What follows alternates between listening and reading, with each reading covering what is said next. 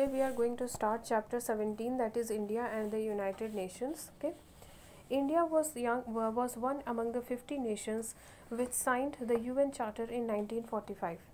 India ने United Nations का charter 1945 में साइन किया था और उस समय 50 नेशंस ने यूनाइटेड नेशंस का ये चार्टर साइन किया था। और उन 50 नेशंस में से इंडिया भी एक था जिसने 1945 में यूनाइटेड नेशंस का चार्टर साइन किया था। Since then India has been an active member in the UN उसके बाद से इंडिया जो है वो यूनाइटेड नेशंस का मेंबर रहा है। India has full faith in the policies of the United Nations because it is also a peace loving nation India जो है वो यूनाइटेड नेशन के जो भी पॉलिसीज़ हैं, वो उनसे अग्री करता है because India is also a peace loving nation क्योंकि इंडिया भी जो है शांति चाहता है। India has been a member of the Security Council on a number of occasions India जो है वो यूनाइटेड नेशंस का जो सिक्योरिटी काउंसिल जो ऑर्गन है, उसका भी मेंबर रह चुका है कई बार। Mrs Vijaya Lakshmi Pandit was the first women president of the UN General Assembly Vijaya Lakshmi Pandit जो है वो पहली फीमेल प्रेसिडेंट है, पहली वुमेन प्रेसिडेंट रही हैं यूएन जनरल असेंबली की ओके सो विजय लक्ष्मी पंडित जो है वो यूएन जनरल असेंबली की फ़र्स्ट वुमेन प्रेसिडेंट रह चुकी हैं। She had held this post for a term of two years from 1953 to 1954 so, वो जो है यूएन जनरल असेंबली की मेंबर रह चुकी हैं। वो दो साल के लिए यूएन जनरल असेंबली की मेंबर थी 1953 से लेकर 1954 तक। Next is India's contribution to the UN On the request of the United Nations, India sent its armed forces as peacekeeping forces to Cyprus, Yugoslavia, Congo, Korea and the Middle East. ठीक है तो United Nations के request करने पे India ने अपने armed forces यानी कि अपने मिलिट्री फोर्सेस को उन्होंने पीस कीपिंग फोर्सेस यानी कि पीस पीसफुल रिलेशन मेंटेन करने के लिए सिप्रस यूगोस्लाविया कॉन्गो कोरिया और मिडिल ईस्ट में भेज चुका था ठीक है? तो यूनाइटेड नेशंस के रिक्वेस्ट करने पे इंडिया ने अपने आर्म्ड फोर्सेस को अपने मिलिट्री फोर्सेस को पीस कीपिंग फोर्स यानी कि डिफरेंट कंट्रीज़ के बीच पीसफुल रिलेशंस मेंटेन करवाने के लिए उन्होंने अपने आर्म्ड फोर्सेस को सिप्रस यूगोस्लाविया कॉन्गो कोरिया और मिडिल ईस्ट में भेजा था। Through India's efforts, the possibility of a war was averted in 1956 when England, France, and Israel attacked Egypt. India's mediation proved very effective in averting a war. India ने एक बार आ, एक war को रोक दिया था जो कि 1956 में जब 1956 में इंग्लैंड फ्रांस और इसराइल इन तीनों कंट्रीज़ ने मिल करके जब इजिप्ट जब इजिप्ट पे उन्होंने अटैक किया था और वो वॉर करना चाहते थे तो उस समय इंडिया ने बीच में इंटरफेयर करके एक ये इतना बड़ा एक वॉर होने से रोक दिया था। Many Indian experts are working for the U N agencies like UNESCO W H O and F A O बहुत सारे इंडियन एक्सपर्ट्स हैं इंडियन ऑफिशियल्स हैं जो कि यूनाइटेड नेशंस के जो डिफरेंट एजेंसीज़ हैं, जैसे कि यूनेस्को डब्ल्यू एच ओ और एफ़ में काम करते हैं। India oppose the racial discrimination in South Africa by the whites against the blacks and this discrimination was known as apartheid when it was ended India re establish its relation with South Africa and India is strongly oppose apartheid in the United Nations तो India ने racial discrimination racial discrimination means means काले गोरे का भेदभाव, यानी कि किसी के स्किन के कलर पे किसी को डिस्क्रिमिनेट करना, किसी के बीच भेदभाव करना कि कौन काला है, कौन गोरा है। ठीक है, इसे कहते हैं रेशियल डिस्क्रिमिनेशन ओके वाइट्स और ब्लैक्स में डिस्क्रिमिनेट करना दैट इज़ रेशियल डिस्क्रिमिनेशन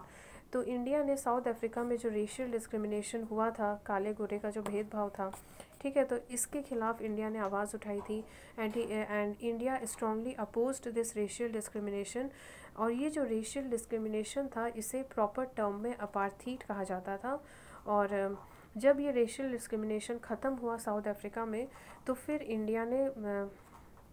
तो फिर इंडिया ने साउथ अफ्रीका के साथ अपने रिलेशंस और भी स्ट्रॉन्ग किए। India strongly oppose apartheid in the United Nations India ने ये जो रेशियल डिस्क्रिमिनेशन था ये जो काले का गो, काले गोरे का जो भेदभाव था इसके खिलाफ इंडिया ने सख्त आवाज़ उठाई और इसे ख़त्म किया।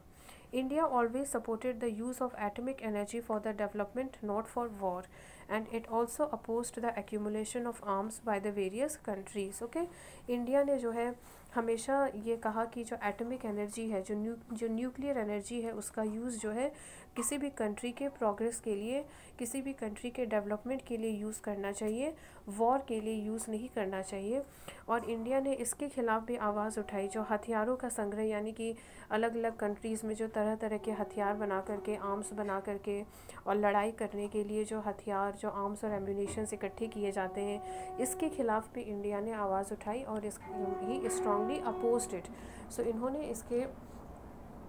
बिल्कुल इसके अगेंस्ट रहे। इंडिया जो है, इस बात के हमेशा अगेंस्ट रहे कि जो डिफरेंट कंट्रीज़ हैं, वो सभी आर्म्स और एमिनेशन इकट्ठा करें और हमेशा वॉर हमेशा वॉर की बात करें। हमेशा लड़ाई की बात करें। इंडिया ने इस इस बात के ख़िलाफ़ हमेशा उन्होंने,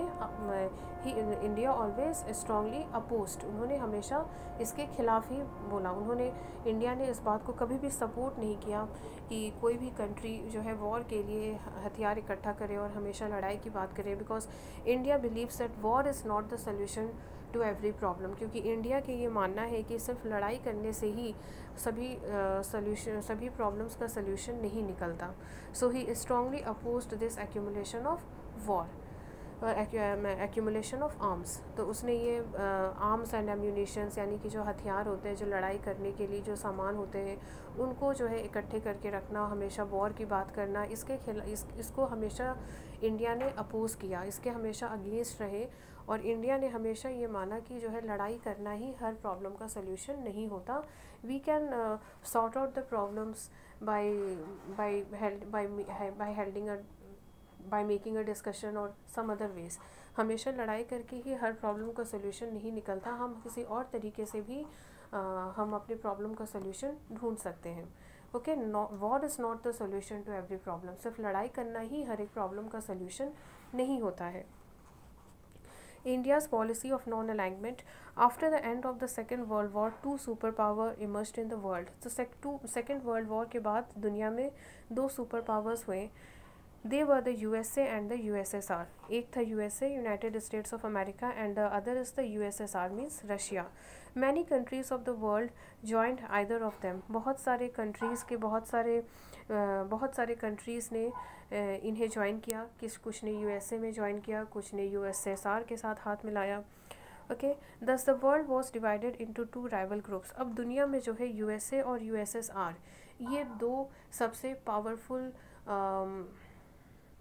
राइवल ग्रुप्स जो है वो इमर्ज हुए और ये दोनों हमेशा ही एक दूसरे के दुश्मन बने रहे। It also led to the formation of military pacts और इनके बाद फिर अलग अलग इन दोनों कंट्रीज़ के अलग अलग मिलिट्री पैक्ट्स बन गए जो हमेशा लड़ाई करने के लिए तैयार रहते थे। The world was moving towards another world war और सेकेंड वर्ल्ड वॉर के बाद फिर से जो है थर्ड वर्ल्ड वॉर होने, ऐसा लग रहा था कि यूएसए और यूएसएसआर की वजह से जो है वो थर्ड वर्ल्ड वॉर भी हो जाएगा।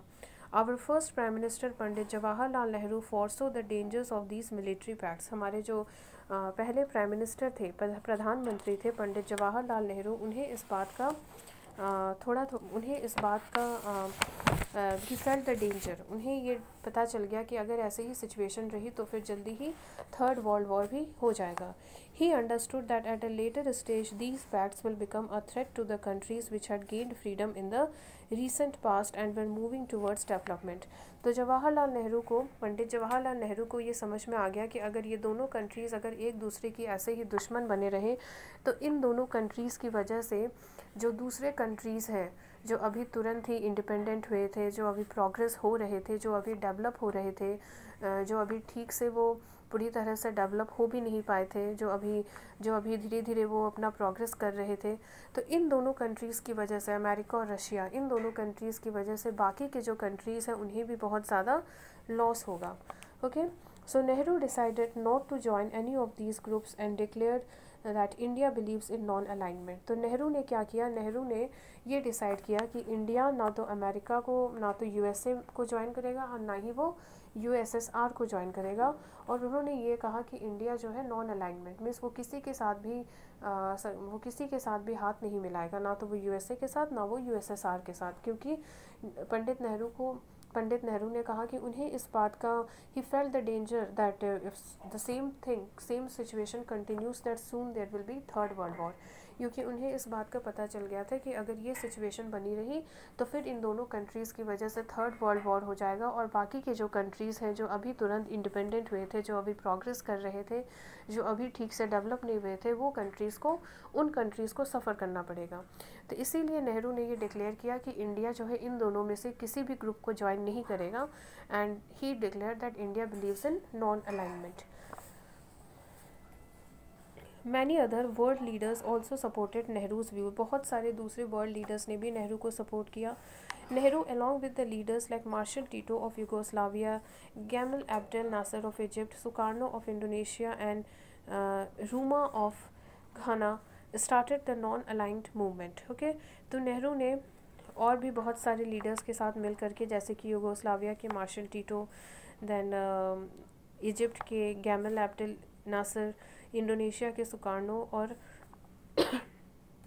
घना के रूमा के साथ मिलकर उन्होंने नॉन अलाइंग मूवमेंट शुरू किया। So along with all these world leaders he started the non aligned movement okay the members of this organisation kept away from the USA and the USSR तो ये जो नॉन अलाइंड मूवमेंट के जो members थे non aligned के non aligned movement ये जो organisation था, इनके जो मेंबर्स थे, वो यूएसए और यूएसएसआर से हमेशा खुद को दूर रखते थे। NAM has 120 member countries as of 2012 तो नॉन अलाइंट मूवमेंट में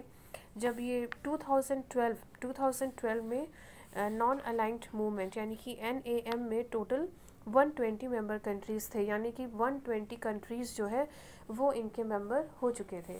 It was founded in 1969 at a conference held at Belgrade in Yugoslavia ये जो नॉन अलाइंट मूवमेंट है, ये 1961 में फॉर्म हुआ था, जब यूगोस जब जब बेलग्रेड, यूगोस्लाविया में एक कॉन्फ्रेंस हुई थी, वहाँ पर यह मूवमेंट बनाया गया था 1961 में। The members of N A M are small and developing countries N A M के जो मेंबर कंट्रीज़ हैं, यानी कि एन ए एम के जो मेंबर कंट्रीज़ हैं, यानी कि जो कंट्रीज़ एन एम के मेंबर होते हैं, वो ज़्यादातर डेवलपिंग कंट्रीज़ होते हैं और स्मॉल कंट्रीज़ होते हैं, यानी कि जो बहुत ज़्यादा डेवलप नहीं हुए हैं और वो जो धीरे धीरे डेवलप हो रहे हैं। तो इस तरह के स्मॉल और डेवलपिंग कंट्रीज़ जो है, वो एन के मेंबर बनते हैं। These countries value their freedom and believe that peace is essential for progress ये जो कंट्रीज़ हैं, ये जो है अपने फ्रीडम को, अपने इंडिपेंडेंस को, उसकी वैल्यू करते हैं, उसके इम्पोर्टेंस को समझते हैं और ये मानते हैं कि अगर हम शांति से रहेंगे तो ही हम आगे और भी ज़्यादा प्रोग्रेस कर पाएँगे। Of N A M cooperate with each other in solving problems like illiteracy, poverty and diseases. They also promote trade. तो एन के जो members हैं वो हमेशा एक दूस एन के जो मेंबर कंट्रीज़ हैं यानी कि एन के जो भी कंट्रीज़ जितने भी कंट्रीज़ हैं जो एन के मेंबर बन चुके हैं वो हमेशा आपस में एक दूसरे की हेल्प करते हैं जो प्रॉब्लम्स होती है जैसे इलेक्ट्रेसी जैसे कि मतलब पढ़ाई लिखाई ना कर पाना, जहाँ पे इलिट्रेसी है, जहाँ पे लोगों को एजुकेशन का प्रॉपर अपॉर्चुनिटी नहीं मिल पाता पॉवर्टी गरीबी की प्रॉब्लम है डिजीज़ेस हैं, लोग बहुत बीमारी से मर रहे हैं। तो इस तरह के जो प्रॉब्लम्स होते हैं, इसमें जो है, ये लोग आपस में एक दूसरे की, ये जो कंट्रीज़ हैं, जो एन के जो मेंबर कंट्रीज़ हैं, ये लोग आपस में एक दूसरे की बहुत हेल्प करते हैं। दे ऑल्सो प्रमोट ट्रेड तो बिज़नेस में, यानी कि ट्रेड में भी ये काफ़ी हेल्प करते हैं एक दूसरे की। Next is UN's help to India United Nations ने इंडिया को कितनी हेल्प की है? India has also received much help from the U N through its agencies like W H O World Bank F A O UNICEF and UNESCO India को जो है वो United Nations के जो डिफरेंट एजेंसीज़ हैं, उन एजेंस उन agencies से भी यूनाइटेड नेशंस को बहुत इंडिया को काफ़ी हेल्प मिल चुकी है। Help India to fight against disease and epidemics W H O ने इंडिया की काफ़ी हेल्प की है। जब कभी भी डिजीज़ेस एपिडेमिक्स या इस तरह की अगर कोई सिचुएशन आई है, जैसे महामारी या बीमारी फैल जाना तो ऐसे सिचुएशन में डब्ल्यू एच ओ ने इंडिया की काफ़ी हेल्प की है। F A O has help India in improving the farming methods India में जो फ़ार्मिंग मेथड्स हैं, जो एग्रीकल्चरल मेथड्स हैं, उनको इम्प्रूव करने में एफ़ ने इंडिया की काफ़ी हेल्प की है। Indian scientist have developed good seeds pesticides and fertilisers with the help with the cooperation of the UN तो जो इंडिया के जो साइंटिस्ट हैं, उन्होंने बहुत अच्छी क्वालिटी के सीड्स पेस्टिसाइड्स और फर्टिलाइज़र्स उन्होंने बनाए हैं और वो उन्होंने यूनाइटेड नेशंस की हेल्प से, उनकी कोऑपरेशन से उन्होंने बहुत अच्छी क्वालिटी के फार्मर्स के लिए बहुत अच्छी क्वालिटी के सीड्स फर्टिलाइज़र्स और पेस्टिसाइड्स बनाए हैं।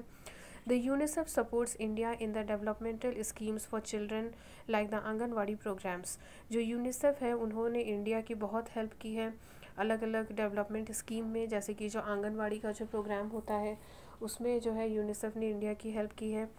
gets financial aids and loans from the I M F that is International Monetary Fund for its developmental programmes India जो है इंडिया को जब भी ज़रूरत होती है अलग अलग जब भी उसे ज़रूरत हुई है तो इंडिया को आईएमएफ यानी कि इंटरनेशनल मोनिटरी फंड से आ, का बहुत लोन भी मिल चुका है ताकि वो अपने डिफरेंट प्रोग्राम्स को और जो भी उनके डिफरेंट प्लान्स हैं उसमें वो प्रोग्रेस कर सके उसको वो आगे डेवलप कर सकें। Okay so India has received a lot of help from the United Nations also okay so read this chapter. Once again to understand it more clearly